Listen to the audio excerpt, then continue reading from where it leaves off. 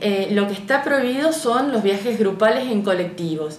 La gente puede viajar a partir de que eh, comienzan las temporadas en cada una de las provincias en sus vehículos particulares o en coches de líneas o en avión. Con lo cual nosotros en estos momentos estamos vendiendo ese tipo de productos, hotelería, viajes en avión y demás.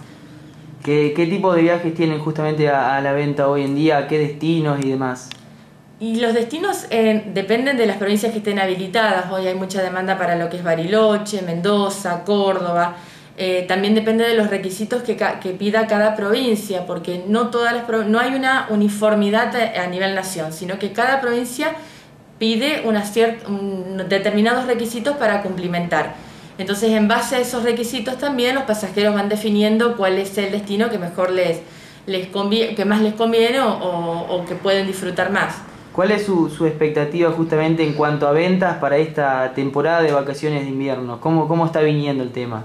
No, la temporada realmente para, para, creo que para todos los que trabajamos en turismo está prácticamente perdida porque además se anunció muy tarde, eh, la gente eh, por ahí tiene todavía temor en, viajar, lo, lo hacen aquellos que cumplimentan con todos los requisitos y que toman todos los recaudos, generalmente gente que viaja con su grupo familiar Así que es eh, una temporada para salvar gastos, nada más. Recién me hablaba un poco de, requisitos de las diferentes provincias. ¿Qué, es lo que piden justamente para poder ingresar en, cuanto a turismo? ¿Qué protocolos les envían ustedes? Eh, las provincias van variando. La mayoría pide el certificado de turismo que se baja a través de un link, que es una aplicación de la Nación y después depende de las provincias, algunas piden PCR o test de antígenos, otras piden que tengan un seguro de asistencia al viajero, hay otras provincias que eh, tienen aplicaciones propias, entonces hay que complementar declaraciones juradas dentro de esas aplicaciones, van variando, por eso es, les recomendamos siempre a los pasajeros que antes de viajar chequeen en eh, los requisitos de la provincia a la cual van a viajar para poder tener todo en regla.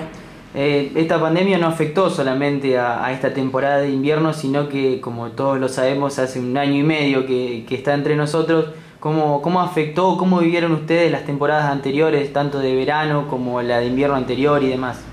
En realidad, desde el marzo del, 2020, todo lo que es la actividad turística está frenada. Se pudo trabajar algo en, enero y febrero y marzo del 2021, eh, pero todo lo demás está frenado eh, prácticamente y en realidad las agencias seguimos trabajando en las reprogramaciones de los viajes que se vendieron pre-pandemia y que no pudieron salir. La mayoría de los pasajeros, o te diría el, casi el 99% de los pasajeros que compraron sus viajes antes de que estallara este problema, no han viajado y continúan sin poder viajar.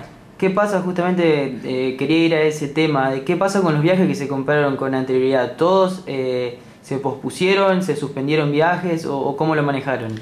Algunos se realizaron devoluciones y la mayoría se reprogramó, sobre todo el que tiene viajes al exterior. Algunas compañías, las compañías aéreas flexibilizaron sus políticas, lo cual permitió reprogramar. Nosotros tenemos viajes que es la sexta vez que venimos reprogramando. Así que, que, bueno, por un lado agradecidos a las compañías aéreas, pero bueno, sabemos que esto también se va a terminar porque el resto del mundo se está abriendo y las compañías, los hoteles comienzan a trabajar con los turistas que viajan desde Europa, desde Estados Unidos, desde Canadá, sobre todo lo que es Caribe, eh, y bueno, y todas estas extensiones que hemos tenido este momento, eh, las compañías van a dejar de darlas, por lo cual también necesitamos el apoyo del gobierno nacional con respecto a las medidas que toman para que los pasajeros puedan viajar y puedan concretar estos viajes que fueron comprados pre-pandemia. Eh, por ahí, eh, sobre todo con lo que ha sucedido en, esto, en, este estos últimos días, que han eh, bajado el cupo de pasajeros que pueden ingresar al país, no todos los pasajeros que se fueron se fueron por turismo y hay muchos pasajeros que no compraron sus viajes para irse ahora, sino que tienen sus viajes comprados en el 2019 y que vienen de cuartas y quintas reprogramaciones. Claro. Yendo más a, a Típica Viajes en sí? ¿Qué, ¿Qué, formas de pago tiene la gente justamente para poder adquirir un viaje aquí? Bueno, la forma de pago siempre la vamos viendo con cada uno de los pasajeros, pero hoy sobre todo para viajes nacionales sigue estando la hora 12 y la hora 18 vigente, con lo cual a la gente se le hace mucho más fácil porque lo puede pagar en, varias cuotas. Eh, y después, bueno, ahí están también las tarjetas locales está la billetera Santa Fe, así que bueno, lo vamos manejando de acuerdo al interés de cada pasajero. ¿Cuál es el, destino que, por el que más se solicitan en el último tiempo? Patagonia.